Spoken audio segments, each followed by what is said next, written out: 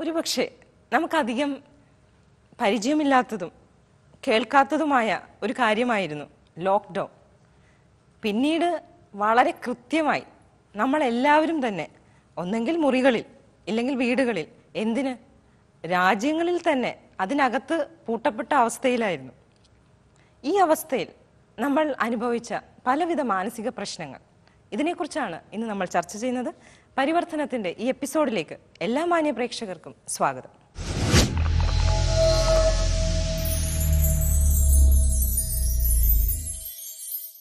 നമ്മോടൊപ്പം നമ്മുടെ psychological counsellor advanced life coach N L P master practitioner mister Justin Thomas ചേരുന്നു. ഒപ്പം തന്നെ ഈ ക്വാറന്റൈൻ അനുഭവത്തിലൂടെ കടന്നുപോയ നമുക്കെല്ലാം വളരെ പ്രിയങ്കരനായ എല്ലാവർക്കും സുപരിചിതനായ ബഹുമാനപ്പെട്ട ബിനോജ് മുളവരിക്കൽ അച്ഛനാണ് നമ്മോടൊപ്പം ചേരുന്നത് welcome to the show. Thank you thank you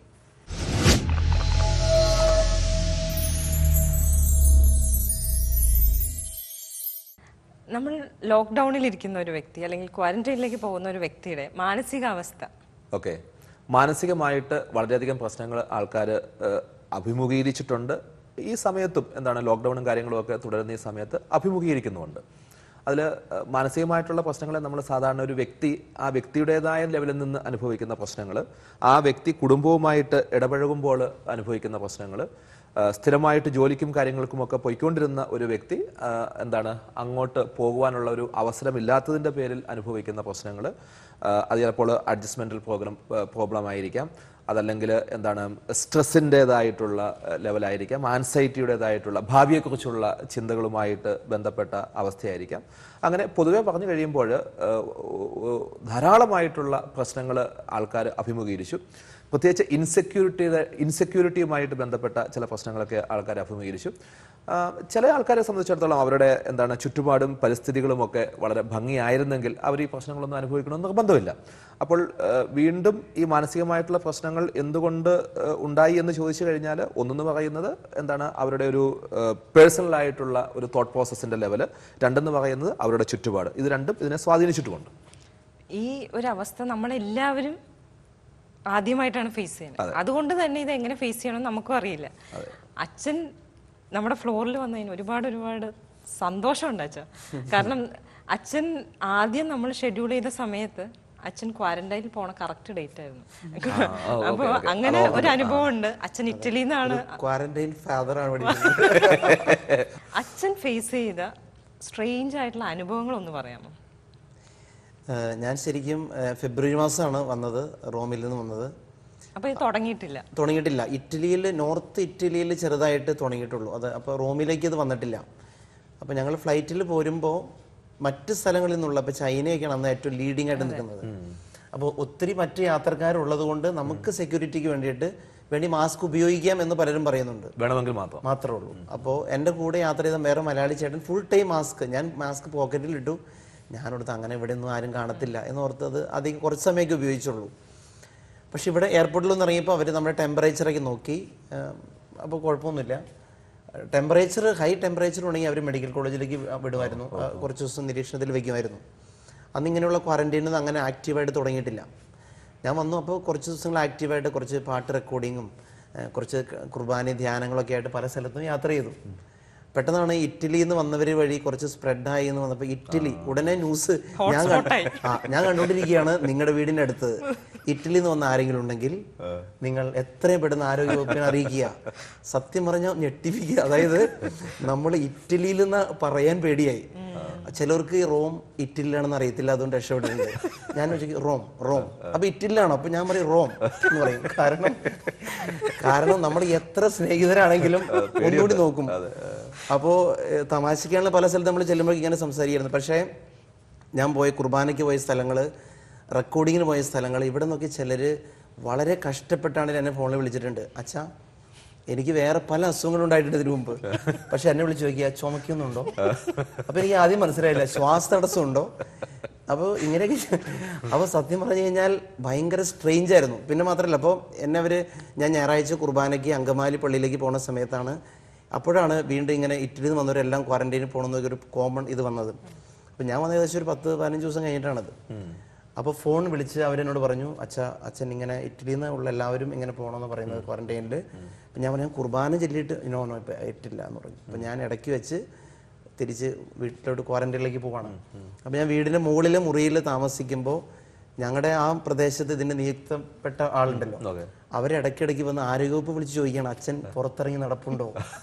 ചുരുക്കി പറഞ്ഞു കഴിഞ്ഞാൽ ഇതുവരെയും നമ്മളെ മറ്റുള്ളവരിങ്ങനെ സംശയത്തോടെ നോക്കിയിട്ടില്ല. നമ്മളുടെ വിസിറ്റും നമ്മൾ കാണുന്നതും വലിയ അനുഗ്രഹമായി കണ്ടിരുന്നവർ ഏഹ് അല്ലെങ്കിൽ അച്ഛനൊന്ന് കാണണം അച്ഛനോട് മിണ്ടണം എന്ന് കണ്ടവരാണ് ദൈവം അച്ഛനെ കണ്ടല്ലോ. അച്ഛൻ ഇവിടെ വന്നല്ലോ എന്ന് എന്നോർത്ത് വിഷമിക്കുന്നത് ആദ്യമായിട്ട് കാണുന്നത്. സോ അതുകൊണ്ട് എനിക്ക് തോന്നുന്നു എന്റെ ലൈഫിൽ ഒരിക്കൽ പോലും ഇങ്ങനെ നമ്മൾ ആളുകളെ ഒബ്സർവ് ചെയ്യുന്നതും ആദ്യമായിട്ടാണ് ഞാൻ നമ്മൾ ഫേസ് ചെയ്യുന്നത്. വളരെ ഒരു സ്ട്രേഞ്ച് എക്സ്പീരിയൻസ് ആണ്. അതും വലിയ എന്തോ ഒരു കുറ്റം ചെയ്തിട്ട് നമ്മൾ അവിടെ നിന്ന് മാറി പുറത്തിറങ്ങാൻ പാടില്ല തീർച്ചയായിട്ടും. പക്ഷെ അതിന്റെ ഒരു സൈഡ് നമുക്ക് തീർച്ചയായിട്ടും നമ്മുടെ ഗവൺമെന്റ് വളരെയധികം ഇതിനകത്ത് കെയർ എടുത്തു എന്നുള്ളത് വളരെ അത് അതാണ് എന്റെ ഏറ്റവും വലിയൊരു കാര്യം കേട്ടോ. ഇതൊക്കെ ആ ഇതൊക്കെ നമ്മൾ പറയുമ്പോൾ അതിനെ നമ്മൾ തീർച്ചയായിട്ടും ഈ ഗവൺമെന്റിന്റെ ആ ഭയങ്കര ആ സിസ്റ്റം വളരെയധികം പവർഫുൾ അതന്നെ. അത്രയും ഒരു സ്ട്രോങ് സിസ്റ്റം നമുക്കുണ്ട്. അതിനെ കുറച്ച് കോമഡി ആയിട്ടും കുറച്ച് വലിയ കരുതലായിട്ടും ഉള്ളിൽ ചെറിയ സങ്കടമായിട്ടും സൂക്ഷിക്കാനാണ് തോന്നുന്നത്. ഇപ്പം ഈ ഈ കാലം ശരിക്കും പറഞ്ഞ കുറെ പേർക്ക് ഒരിക്കലും പരസ്പരം കുടുംബത്തിലെ ആൾക്കാരെ പരസ്പരം കാണാത്ത കുറെ ആൾക്കാരുണ്ട്. അവർക്കൊരു വലിയ അനുഗ്രഹവും അതെ. അപ്പുറത്ത് കുറെ പേർക്ക് ഒരു ശാപവും ഒക്കെ ആയ ഒരു കാലഘട്ടമാണ്. അപ്പൊ അങ്ങനെ ഈ രണ്ട് ആസ്പെക്റ്റും മെറിറ്റ്സ് ആൻഡ് ഡിമെറിറ്റ്സ് ഒരുപാട് കേസസ് വന്നിട്ടുണ്ടാവും ഓ ഇഷ്ടം പോലെ. അപ്പൊ അതിലൊരു പ്രസക്തമായ ചില പോയിന്റ്സ് ഒന്ന് പറയാമോ? എന്തൊക്കെയായിരുന്നു മേജർ ഇഷ്യൂസ് മേജർ ഇഷ്യൂസ് എന്ന് പറഞ്ഞു കഴിഞ്ഞാൽ ഇഷ്യൂസിന് പറയുന്നതിനേക്കാളും കൂടുതൽ ഞാൻ അതിന്റെ ഒരു മെറിറ്റ്സ് ആദ്യം പറയാം. ഈ കുട്ടികളൊക്കെ മാതാപിതാക്കളോട് ഒരു പരിധിയിൽ കൂടുതൽ മിണ്ടാനുള്ള അവസരം കിട്ടാത്ത കുട്ടികൾ അല്ലെങ്കിൽ ഹസ്ബൻഡും വൈഫും കൂടി ഒരുമിച്ച് ഇരിക്കാൻ പറ്റാത്ത ജോലി സംബന്ധമായിട്ടൊക്കെ ഇങ്ങനെ ധാരാളമായിട്ട് യാത്ര ചെയ്തുകൊണ്ടിരുന്ന ആൾക്കാർ അല്ലെങ്കിൽ പേരൻസിന്റെ കൂടെ സമയം ചെലവഴിക്കാൻ പറ്റാതിരുന്ന ആൾക്കാർ പക്ഷെ ഇവർക്കൊക്കെ എന്തുണ്ട്? ആഗ്രഹമുണ്ട്. എപ്പോഴെങ്കിലും ഒരു ഫ്രീ ടൈം കിട്ടണമെന്നുള്ള ഒരു വലിയ ആഗ്രഹം ഉണ്ടായിരുന്ന ആൾക്കാർ പ്രത്യേകിച്ച് ഈ ലോക്ക്ഡൌണിന്റെ ആദ്യ കാലങ്ങളിൽ ആഘോഷിച്ചു എന്ന് വേണം പറയാൻ. അവർ ചക്ക വെട്ടി കപ്പ പുഴുങ്ങി ഒക്കെ ചക്കുകുരു പൊളിച്ചു അങ്ങനെയൊക്കെയുള്ള സകല സംഭവമായിട്ട് ഗംഭീരമായിട്ട് ആഘോഷിച്ചു. എന്നാൽ വേറൊരു കൂട്ടറുണ്ട്. സൂപ്പർ സ്റ്റാർസ് ഉൾപ്പെടെ. എല്ലാവരും ആഘോഷിച്ചു. എന്നാൽ വേറൊരു കൂട്ടറുണ്ട് ഞാൻ നേരത്തെ സൂചിപ്പിച്ച പോലെ ഈ അഡ്ജസ്റ്റ്മെന്റൽ പ്രോബ്ലം ഓക്കെ അങ്ങോട്ടും ഇങ്ങോട്ടും എന്താണ് കിരിയും കീരിയും പാമ്പുമായിട്ടുള്ള ആൾക്കാർ വീട്ടിൽ തന്നെ താമസിക്കുന്നു എന്നാൽ ഡിവോഴ്സ്ഡ് അല്ല സെപ്പറേറ്റഡ് അല്ല അങ്ങനെയൊക്കെയുള്ള ചില ആൾക്കാരുണ്ടല്ലോ സ്വന്തം. ഇങ്ങനെയൊക്കെയുള്ള ആൾക്കാർക്ക് എന്താണ് ഇറിറ്റേഷനായി പ്രശ്നമായി ഇയാളെ ഞാൻ ഇന്ന് എത്ര ദിവസം ഇങ്ങനെ കാണണം ഇവളെ ഞാൻ എത്ര ദിവസം കാണണം ഇങ്ങനെയുള്ള പ്രശ്നങ്ങൾ പിന്നെ എന്താണ് മാതാപിതാക്കൾ ഭയങ്കര കടുംപിടുത്തക്കാർ മാതാപിതാക്കളുണ്ടല്ലോ അവരുടെ മക്കൾ. ഈ മക്കൾക്ക് അയ്യോ ഈ തന്തേനെ ഞാൻ ഈ അപ്പനെ ഞാൻ എന്നുള്ള ഒരു ചിന്ത ഇങ്ങനെയുള്ള കുറേ പ്രശ്നങ്ങൾ. അതിന്റെ ഭാഗമായിട്ടാണ് വനിതാ കമ്മീഷന് റിപ്പോർട്ടുമായിട്ട് വന്ന ഏകദേശം അറുപത് ശതമാനത്തിലധികം ഡൊമസ്റ്റിക് വയലൻസ് കൂടിയെന്നും പറഞ്ഞു വന്നു. അതോടൊപ്പം തന്നെ കുട്ടികൾക്കെതിരെയുള്ള അതിക്രമങ്ങൾ കൂടിയെന്ന് നമ്മൾ നമ്മൾ എവിടെ നേരത്തെ സൂചിപ്പിച്ചതാണ്. അപ്പം ഇങ്ങനെയുള്ള ധാരാളമായിട്ടുള്ള പരാതികൾ ഇഷ്യൂസ് അങ്ങനെ ഒരു സൈഡ്. അപ്പോൾ ഇതിന് ഒരു പ്ലസ് പോയിന്റ് പ്ലസ് എന്താണ് ഇങ്ങനെയും സംഭവിച്ചു. ഇനി നമ്മൾ നോക്കിക്കാണേണ്ടത് എന്താണെന്ന് ചോദിച്ചു കഴിഞ്ഞാൽ ഒന്ന് രണ്ട് എക്സാമ്പിളുകൾ ഞാൻ പറയാൻ ആഗ്രഹിക്കുന്നത് പറയുന്നത്. കൗൺസിലിംഗ് പരമായിട്ട് ഒരുപാട് ആൾക്കാർ അവയറായ എന്നുള്ളതാണ്. അതിന്റെ അകത്തെ ഒരു ഒരു പ്രധാനപ്പെട്ട മെറ്റ് അതായത് ഞങ്ങൾ ഒരുമിച്ച് ജീവിക്കുന്ന സമയത്ത് ഞങ്ങൾക്ക് അഡ്ജസ്റ്റ് ചെയ്യാൻ പറ്റുന്നില്ലെങ്കിൽ അത് എന്തോ ഒരു സൈക്കോളജിക്കൽ പ്രശ്നം കൊണ്ടാണ് എന്നുള്ള ഒരു ഉറച്ച ബോധ്യത്തിലേക്കും അതിനൊരു പരിഹാരം വേണമെന്നുള്ള ചിന്തയിലേക്കും പോയ ഒരുപാട് കേസുകൾ എന്റെ അടുത്ത് വന്നു. അത് ഇതിന്റെ ഒരു ഒരു ഒരു പ്ലസ് പോയിന്റ് ആയിട്ട് ഞാൻ കാണും. കാരണം രണ്ട് മൂന്ന് ദിവസം അടിക്കുന്നു അപ്പം മക്കൾ പറയുന്നു അപ്പനും അമ്മയും ഒരുമിച്ചിരുന്നാൽ പിന്നെ അടിയാണ്. അല്ലെങ്കിൽ നിങ്ങൾക്ക് എന്താണ് ഒരുമിച്ച് പോകാൻ പറ്റുന്നില്ല. നിങ്ങൾ നിർബന്ധമായിട്ടും ആരെയെങ്കിലും പോയി കണ്ടേ പറ്റുള്ളൂ. അല്ലെങ്കിൽ കുട്ടികളോട് ഭയങ്കരമായിട്ട് ഷൗട്ട് ചെയ്യുന്നു. ആൾക്കാർ റിയലൈസ് ചെയ്യാൻ തുടങ്ങി. എന്റെ ഇമോഷണൽ ലെവൽ എന്ന് പറയുന്ന വേറൊരു ലെവലിലേക്ക് പോകുന്നു. ഐ ഷുഡ് കൺട്രോൾ ഇറ്റ് എന്നുള്ള തോന്നൽ വരികയും അങ്ങനെ പേഴ്സണലി ഡിസിഷൻ എടുത്തിട്ട് വന്ന ഒരുപാട് ആൾക്കാരുണ്ട്.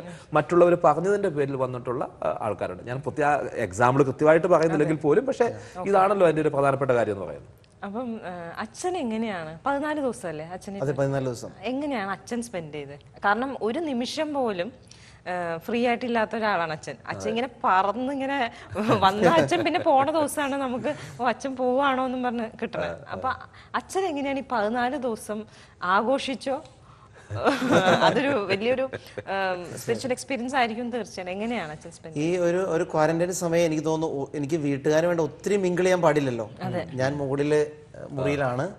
പക്ഷെ എങ്കിലും നമ്മൾ പല പല കാര്യങ്ങൾ ഇപ്പോൾ ഉദാഹരണം പറഞ്ഞാൽ ഈ സാമ്പാറിൽ എന്തൊക്കെ ഉണ്ട ഉള്ളതെന്നുള്ളത് നമ്മൾ എപ്പോഴും ചിന്തിക്കുന്നൊന്നുമില്ല കഴിച്ചു പോകുന്നു അല്ലേ? ഈ സാധനങ്ങൾ എവിടെ നിന്ന് വരുന്നു അല്ലെ? ഇപ്പോ മീൻ കിട്ടുന്നില്ല. അപ്പോൾ മീൻ പിടിക്കാൻ പോലും അപ്പോൾ ഈ പല കാര്യങ്ങൾ ഇപ്പോൾ അടുക്കളയുമായി ബന്ധപ്പെട്ട പല കാര്യങ്ങൾ എങ്ങനെ ചില ഭക്ഷണ പദാർത്ഥങ്ങൾ ഉണ്ടാകുന്നു? ഇതിന്റെ പുറകെ ഇതൊന്നും എനിക്ക് അധികം നമ്മൾ ആ നമ്മൾ അറിയാം ജനറൽ എന്നല്ലാതെ അതിന്റെ പുറകിലെ പല പെയിനും ചെറിയ ചെറിയ അനക്കങ്ങൾ പോലും നമ്മുടെ ശ്രദ്ധയിൽ പെടാൻ തുടങ്ങിയൊരു സമയമാണ്. പിന്നെ കുറച്ച് എനിക്ക് തോന്നുന്നു ഞാൻ കുറച്ച് ക്രിയേറ്റീവായിട്ട് കുറച്ച് പാട്ടുകളൊക്കെ പുതിയതായിട്ട് എഴുതാനൊരു സമയമായിരുന്നു. പുതിയ കുറച്ച് രചനകളും കുറേ കുറച്ച് വായിക്കാൻ.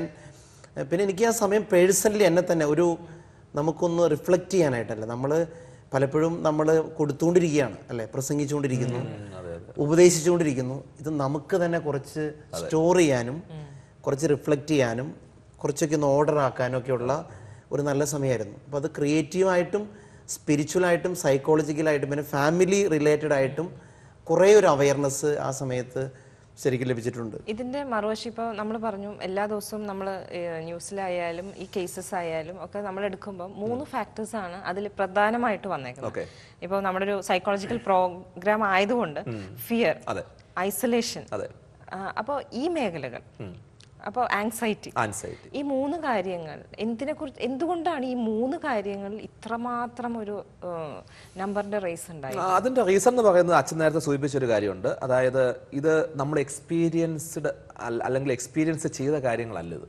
അല്ലേ? ഇപ്പോൾ ഒരു യുദ്ധം ഉണ്ടാകുന്നു. യുദ്ധം ഉണ്ടായി കഴിയുമ്പോൾ എന്താണ്? ധാരാളമായിട്ടുള്ള യുദ്ധവിമാനങ്ങൾ പോകുന്നു.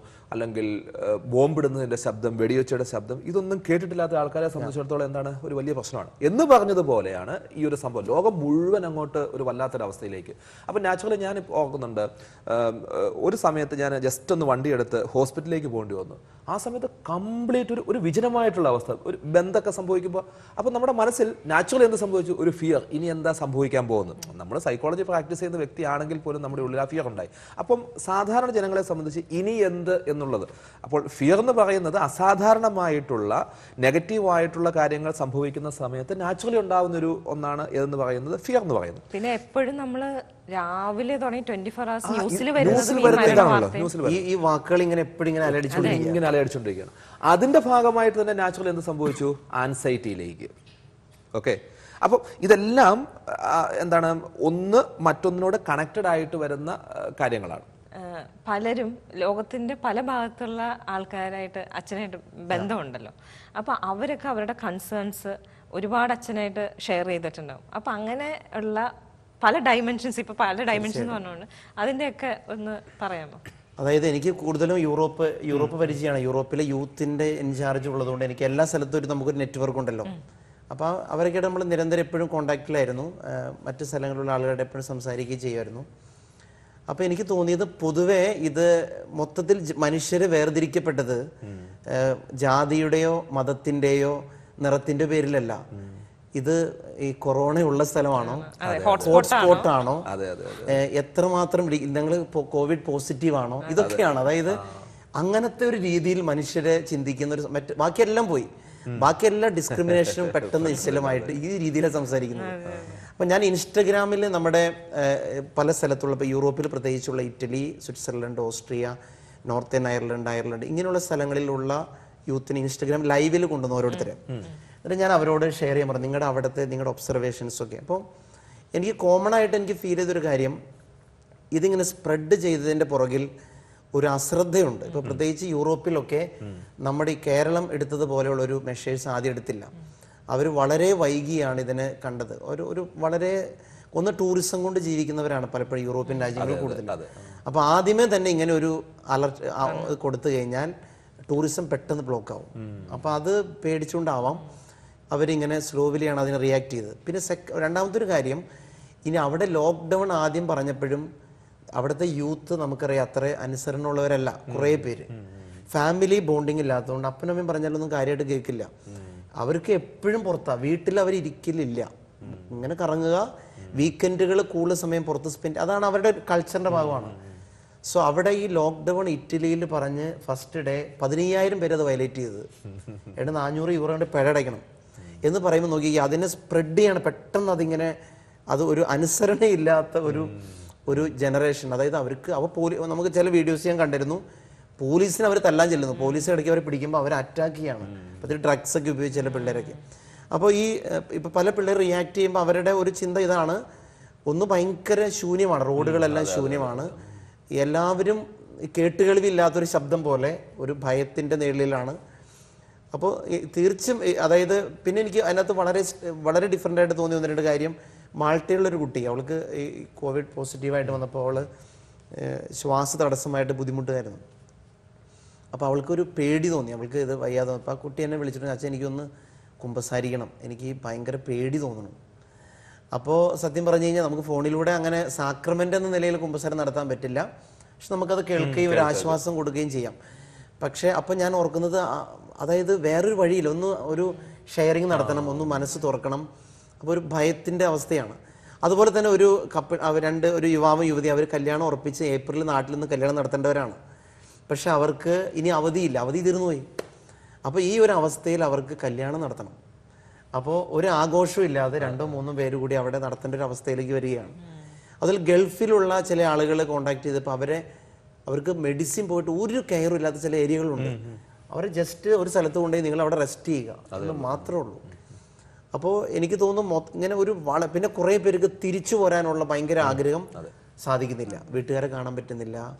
ഭയങ്കര ടെൻഷൻ പക്ഷെ ഇതിനിടയിൽ ഈ പറഞ്ഞ പോലെ കുറേ പുതിയ അവയർനെസ്സോട് കൂടി ക്രിയേറ്റീവായിട്ട് സമയം ഉപയോഗപ്പെടുത്തുന്ന കുറേ വായിക്കുന്ന ഒരുപാട് ആൾക്കാർ ഈ വീട്ടിൽ ഈ പറഞ്ഞ പോലെ ജസ്റ്റിൻ പറഞ്ഞ പോലെ അമ്മ എന്തോരം ബുദ്ധിമുട്ടൊന്നും കാണുന്ന അങ്ങനെ ഒരു ഗ്രേറ്റ് റിയലൈസേഷൻ ഇതിനകത്തുണ്ട്. റിയാക്ഷൻ മാത്രമല്ല. ഇപ്പം ഇതിലൂടെ ഇപ്പൊ മറ്റേ ഹാഫ് ആണല്ലോ കാരണം നമുക്ക് എന്തെങ്കിലും ഇഷ്യൂസ് ഉണ്ടെങ്കിൽ അത് സോൾവ് ചെയ്യുക എന്നുള്ള ഒരു പരിവർത്തനം ആണല്ലോ നമ്മുടെ ചിന്ത. അപ്പൊ അങ്ങനെ ഈ സമയത്ത് റിയലൈസേഷൻ ചെയ്ത് വന്നത് ഓക്കെ വെൽ ആൻഡ് ഗുഡ് എന്നിട്ട് അത് ഫുൾ ഇഫക്റ്റീവ് ആയിരുന്നു. അങ്ങനെ കേസസ് ധാരാളം കേസസ് എനിക്ക് തോന്നുന്നു ഒരു അൻപതിലധികം കേസസ് എന്താണ്. റിയലൈസ് ചെയ്ത് വന്നിട്ടുണ്ട്. അതെന്ന് പറഞ്ഞ ഹ്യൂജ് നമ്പറാണ് കാരണം ഈ ഒരു സമയത്ത് അത്രയും കേസുകൾ വരിക എന്നുള്ളത്. അതിൽ ചില കേസുകളിൽ മരുന്നെടുക്കേണ്ട കേസുകളുണ്ടായിരുന്നു ഓക്കെ മെഡിക്കേഷനിലേക്ക് പോകേണ്ടതുണ്ടായിരുന്നു. ചില കേസുകൾ കൗൺസിലിങ്ങിലൂടെയും തെറാപ്പിയിലൂടെയും ഏഹ്, ആദ്യത്തെ സെഷനിൽ തന്നെ ഓക്കെ ആയി പോയ കേസുകളുണ്ട്. രണ്ട് മൂന്ന് പ്രാവശ്യങ്ങൾ വരേണ്ടി വന്ന ചില കേസുകളുണ്ട്. അതിൽ ഏറ്റവും കൂടുതൽ ഏത് പ്രപ്പോർഷനേറ്റ് ആയിട്ട് പറഞ്ഞ ഏതായിരിക്കും കൂടുതൽ? Family problem family family problem okay family പ്രോബ്ലത്തിൽ എനിക്ക് ഏറ്റവും ഇൻട്രസ്റ്റിംഗ് ആയിട്ട് തോന്നിയ കേസ് എന്ന് പറയുന്നത് കുട്ടികൾ പഠിക്കുന്നില്ല എന്നുള്ള ഒരു തോന്നൽ മാതാപിതാക്കൾക്ക് വന്നു. വീട്ടിലിരുന്നപ്പോഴാണ് തോന്നൽ വന്നു. ഇതൊരു വലിയൊരു മോശമായിരുന്നു അവർ ഇപ്പൊ രാവിലെ ഓഫീസിൽ പോണത് ഇവർ കാണുന്നില്ല കാണുന്നില്ലല്ലോ. അപ്പോൾ കുട്ടികൾ അതിന് പിന്നെ വേറൊരു ഇഷ്യൂ എന്താ വന്നതെന്ന് ചോദിച്ചു കഴിഞ്ഞാൽ ഇതുമായിട്ട് ബന്ധപ്പെട്ട് കുട്ടികൾ കൂടുതലും മൊബൈലിലേക്ക് ടി വിയിലേക്ക് അതായത് ഈ ഷെയറിംഗ് എന്ന് പറയുന്ന സംഭവം ഇവരുടെ ഇടയിൽ ഇല്ലാതെ വന്നു കഴിഞ്ഞപ്പം കുട്ടികൾ അങ്ങോട്ട് കുറച്ചങ്ങോട്ട് തിരിഞ്ഞു പോയി. ഓക്കെ എന്നിട്ട് കുട്ടികൾ ഇത് എന്താണ് ഈ ടിക്ടോക്ക് അല്ലേ? ടിക്ടോക്ക് ആ ടിക്ടോക്കുമായിട്ട് ബന്ധപ്പെട്ട് അങ്ങനെയൊക്കെയുള്ള കുറേ ഇഷ്യൂസ് ഫേസ്ബുക്കുമായിട്ടുള്ള ഇഷ്യൂസ് അങ്ങനെ കുറെ സംഭവങ്ങൾ ശരിക്കും ഈ ലോക്ക്ഡൌണിന്റെ ഇഷ്യൂ ഇപ്പൊ പറഞ്ഞപ്പോഴേ ഏറ്റവും വലിയ ഒരു ഇനി വരാൻ പോകുന്ന ഒരു വലിയ ഡേഞ്ചർ എന്ന് പറഞ്ഞാൽ കുട്ടികളുടെ കയ്യിലെല്ലാം മൊബൈൽ ലാപ്ടോപ്പ് കൊടുക്കേണ്ട ഒരു അവസ്ഥ. മറ്റേ ഉപയോഗിക്കാൻ നമുക്ക് കൊടുക്കണ്ട. പക്ഷെ ഇതിപ്പോ ടെലിവിഷന്റെ മുമ്പിലും ഇതിന്റെ മുമ്പിൽ ഇരിക്കുക എന്ന് പറഞ്ഞ് നമ്മൾ തന്നെ മേടിച്ചു കൊടുക്കണം. കഴിഞ്ഞ ദിവസം ഒരു കൊച്ചിങ്ങനെ ഒരു ഒരു കാർട്ടൂൺ കണ്ടു കാണും. ഇങ്ങനെ ഒരു കൊച്ചിങ്ങനെ വളരെ ആശ്ചര്യപ്പെട്ട് നിൽക്കുവാണ് കാരണം അമ്മ പറഞ്ഞു പോയി ടിവിയുടെ മുമ്പിൽ ഇരിക്കണം കാരണം ഇന്നത്തെ ഒരു അവസ്ഥ അങ്ങനെയാണ്. നേരത്തെ എന്ന് പറയുന്നത് ഏറ്റുപോടാന്നായിരുന്നു ഇതിപ്പോ നേരെ ഓപ്പോസിറ്റ് ആയി മാറി വളരെ വളരെ അർത്ഥവത്തായിട്ടുള്ള കാര്യമാണ്. അതൊരു വലിയ ഇഷ്യൂ ആയിട്ട് മാറാൻ കാരണം ഈ കുട്ടികൾക്ക് ഇതിപ്പോ അങ്ങോട്ട് ഉപയോഗിച്ച് ശീലമാകും.